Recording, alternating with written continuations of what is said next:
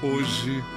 O sangue dos Coutinho e dos inocentes são feito água e olha não se misturam. É bom João Pedro ficar com os olhos bem abertos. Vocês vão esperar que aconteça a mesma coisa que aconteceu com Venâncio? Eu já chorei a morte de meu irmão. E não vou ficar aqui esperando para acontecer de novo. Eu conheço essa guerra o suficiente para lhe dizer que estamos só no começo. Renascer.